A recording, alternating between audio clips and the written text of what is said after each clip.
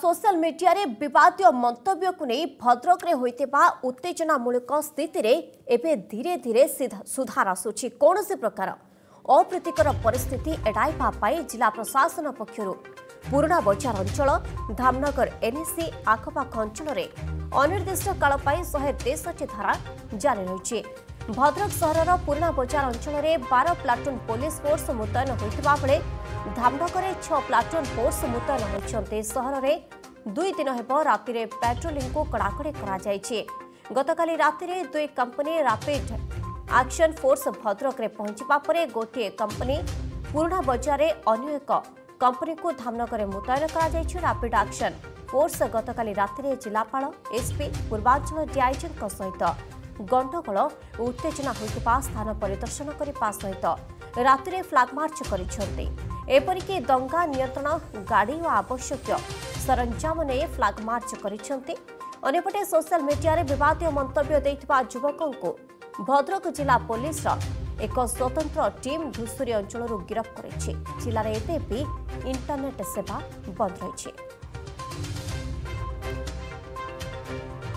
পরিস্থিতি ଶାନ୍ତ ଅଛି ସିଚୁଏସନ୍ ଅଣ୍ଡର କଣ୍ଟ୍ରୋଲ୍ ଅଛି ଆପଣ ଦେଖୁଛନ୍ତି ଏବେ ରାପିଡ୍ ଆକ୍ସନ୍ ଫୋର୍ସ ଆମର ଦୁଇ company already MHA ministry of home affairs government of ଇଣ୍ଡିଆରୁ ଆସିକି ପହଞ୍ଚି ଯାଇଛନ୍ତି ଏରିଆ ଡୋମିନେସନ୍ ଆଉ ଆମର ଫ୍ଲାଗ୍ ମାର୍ଚ୍ଚ ଏବେ ଆମେ କରିଛୁ ତା ପୂର୍ବରୁ ମଧ୍ୟ ଆମେ କାଲି କହିଥିଲୁ ଆପଣଙ୍କୁ ଅପଡେଟ୍ କରିଥିଲୁ ଟେନ୍ ପ୍ଲାଟୁନ୍ ଫୋର୍ସେସ୍ ଆମର ଏଠି ଡିପ୍ଲୟମେଣ୍ଟ ଥିଲେ ଧାମନଗରରେ ଛଅ ପ୍ଲାଟୁନ୍ ଫୋର୍ସେସ୍ ଡିପ୍ଲୟମେଣ୍ଟ ଥିଲେ और ଯେଉଁ କେସ୍ ମଧ୍ୟ ହେଇଥିଲା ସେଥିରେ ଆମେ ଅଲରେଡ଼ି ସାତଟା ଲୋକ ଆରେଷ୍ଟ କରିକିରି ଫରୱାର୍ଡ଼ କରିସାରିଛୁ ଯେ ପୋଷ୍ଟ ମଧ୍ୟ କରିଥିଲେ ଇନସାଇଟିଂ କମ୍ୟୁନାଲ୍ ଭାଓଲେନ୍ସ ମଧ୍ୟ ସେ ମଧ୍ୟ ଆରେଷ୍ଟ ହେଇକି ଫରୱାର୍ଡ଼ ହେଇସାରିଛନ୍ତି। ଏଣ୍ଡ ଫର୍ଦର ଆକ୍ସନ୍ ମଧ୍ୟ ଜାରି ରହିଛି ଆମର ପୁଲିସର। ପୋଲିସର ରାପିଡ୍ ଆକ୍ସନ୍ ଜାରି ରହିଛି। ଏ ବାବଦରେ ଅଧିକ ସୂଚନା ପାଇଁ ଆମ ସହିତ Santosh Jena senior special correspondent ଆମ ସହିତ ଯୋଡ଼ି ରହିଛନ୍ତି। ସନ୍ତୋଷ ବର୍ତ୍ତମାନ ଜାଣିବାକୁ ଚାହିଁବୁ ଭଦ୍ରକର ସ୍ଥିତି କ'ଣ ରହିଛି? ଆ, ଦେଖନ୍ତୁ ନିଶ୍ଚିତ ଭାବରେ ମାଧୁରୀ ଆପଣ ଜାଣିଛନ୍ତି ଯେ ଏକ ସୋସିଆଲ ମିଡ଼ିଆରେ ବିବାଦୀୟ ପୋଷ୍ଟକୁ ନେଇ ଯେତେବେଳେ ଆରୋପ ପ୍ରତ୍ୟାରୋପ ହେଲା ଏବଂ ଏକ ନିର୍ଦ୍ଦିଷ୍ଟ ସମ୍ପ୍ରଦାୟର ଲୋକ କୌଣସି କାରଣ ନଥାଇ ହିଂସାକାଣ୍ଡ ଘଟାଇବା ପାଇଁ ସହର ଭିତରକୁ ମାଡ଼ି ଆସୁଥିଲେ ଏବଂ ଗୋଟେ ଏଫଆଇଆର୍ ଦେବା ନାଁରେ ରାଲି ବାହାର କରି ବିଭିନ୍ନ ପ୍ରକାର ବିବାଦୀୟ ମନ୍ତବ୍ୟ ଦେବା ଏବଂ କୌଣସି ଏକ ସମ୍ପ୍ରଦାୟକୁ ଟାର୍ଗେଟ୍ କରିବା ଘଟଣା ନିହାତି ଭାବରେ ଏ କଥାକୁ ନେଇକି ପୋଲିସ ଗୁରୁତ୍ୱ ଆରୋପ କରିଥିଲା ଏବଂ ଘଟଣାସ୍ଥଳରେ ଯେ ମାଜିଷ୍ଟ୍ରେଟ୍ ରହିଛନ୍ତି ଏବଂ ତାଙ୍କ ସହିତ ସିଟି ଡିଏସ୍ପି ଏବଂ ଅନ୍ୟ ପୋଲିସ ଅଧିକାରୀମାନେ ତାଙ୍କୁ ଅଟକିବାକୁ ଚେଷ୍ଟା କରିଥିଲେ। ଏକ ନିର୍ଦ୍ଦିଷ୍ଟ ସମ୍ପ୍ରଦାୟର ଲୋକେ ଯେତେବେଳେ ପୋଲିସ ଉପରେ ଆକ୍ରମଣ କଲେ ସେତେବେଳେ ପୋଲିସ ମଧ୍ୟ ପାଲଟ ଆକ୍ରମଣ କଲା ଏବଂ ମୃଦୁ ଲାଠିଚାଳନା କଲା। ଯେଉଁଥିରେ ଏକ ନିର୍ଦ୍ଦିଷ୍ଟ ସମ୍ପ୍ରଦାୟର ଲୋକ ଛତ୍ରଭଙ୍ଗ ଦେଇ ଯାଇଥିଲେ ଏବଂ ପରବର୍ତ୍ତୀ ମୁହୂର୍ତ୍ତରେ ପୋଲିସ ଉପରେ ଯେଉଁ ଆକ୍ରମଣ ହୋଇଥିଲା ସେ ଘଟଣାକୁ ନେଇ ଗତକାଲି ମଧ୍ୟ ଗିରଫଦାରୀ ଜାରି ରହିଥିଲା ଏବଂ ଚଉଦ ଜଣଙ୍କୁ ମଧ୍ୟ ଗିରଫ କରାଯାଇଥିଲା ଏବଂ ଆଜି ମଧ୍ୟ କିଛି ଗିରଫଦାରୀ ସଂଖ୍ୟା কালি রাত্রি রয়েছে যার পুঙ্খানুপুঙ্খ তথ্য এপর্যন্ত জেলা পুলিশ নিকটর বর্তমান সময় সামনাকু আসিপারি যদিও গিরফ সংখ্যার স্পষ্টতা সামনাকু আসেনি কিন্তু কালি কিছু স্থানের গিরফ করা হয়েছে এবং কেবল ভদ্রক নুহে এ ঘটনা ধামনগরকু ব্যাপি লা কিনা আপনার জাঁচান ভদ্রকরে এক নির্দিষ্ট সম্প্রদায়ের লোক প্রত্যেক নির্বাচন মন্ডলী অনেক যেটি ভদ্রকু আরম্ভ হোক এ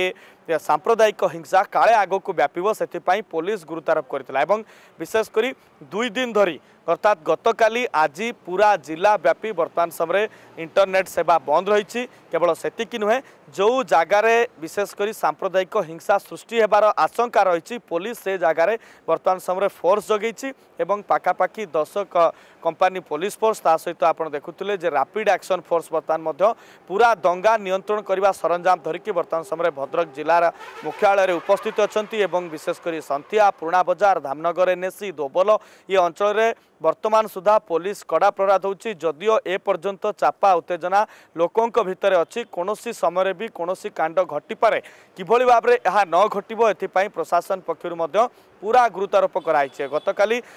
ଅପରାହ୍ନରେ ଜିଲ୍ଲାର ଯେ ମନ୍ତ୍ରୀ ରହିଛନ୍ତି ଉଚ୍ଚଶିକ୍ଷା ମନ୍ତ୍ରୀ ସୂର୍ଯ୍ୟବଂଶୀ ସୁର ଯେ ବିଧାୟକ ରହିଛନ୍ତି ସୀତାଂଶୁ ଶେଖର ମହାପାତ୍ର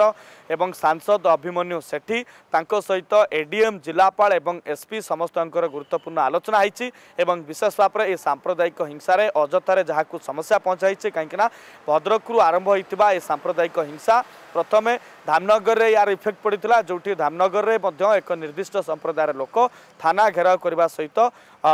ହିନ୍ଦୁ ସମ୍ପ୍ରଦାୟର ଲୋକଙ୍କୁ ମଧ୍ୟ ବା, ମାଡ଼ ମାରିବା ଧମକେଇବା ଏଭଳି ଘଟଣା ମଧ୍ୟ ସାମ୍ନାକୁ ଆସିଥିଲା। ପୋଲିସ ଏ ସଂକ୍ରାନ୍ତରେ ଖବର ପାଇବା ପରେ ସେଠି ମଧ୍ୟ ପୁରା କଡ଼ାକଡ଼ି ସୁରକ୍ଷା ଦିଆହେଉଛି ଏବଂ ସମସ୍ତଙ୍କୁ ବର୍ତ୍ତମାନ ସମୟରେ ଫୋକସ୍ରେ ରଖାଯାଇଛି ଏବଂ କୁହାଯାଉଛି ଯେ ଯେଉଁ ଭିଡ଼ିଓ ବର୍ତ୍ତମାନ ସମୟରେ ଭାଇରାଲ ହେଉଛି। ଅର୍ଥାତ୍ ରାଲି ସମୟରେ ପୋଲିସକୁ ଆକ୍ରମଣ କରି ସାମ୍ପ୍ରଦାୟିକତା ହିଂସା ସୃଷ୍ଟି କରିବାକୁ ଯେଉଁ ଲୋକମାନେ ଚେଷ୍ଟା କରୁଥିଲେ ଭିଡ଼ିଓ ଆଧାରରେ ପୋଲିସ ସେମାନଙ୍କୁ ବର୍ତ୍ତମାନ ସମୟରେ ଖୋଜୁଛି ଏବଂ ଗତକାଲି ରାତିରେ ମଧ୍ୟ କିଛି ଲୋକଙ୍କ ଘରେ ରେଡ୍ ପଡ଼ିଛି ଏବଂ କିଛି ଲୋକଙ୍କୁ ମଧ୍ୟ ବିଶେଷ କରିକି